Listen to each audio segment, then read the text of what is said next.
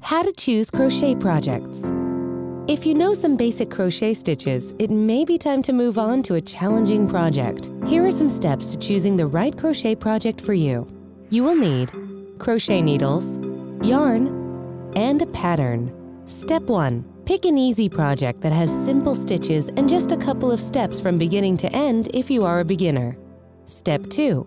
Determine the gauge, or the number of stitches in a square inch. Gauge determines the finished size of a crocheted item.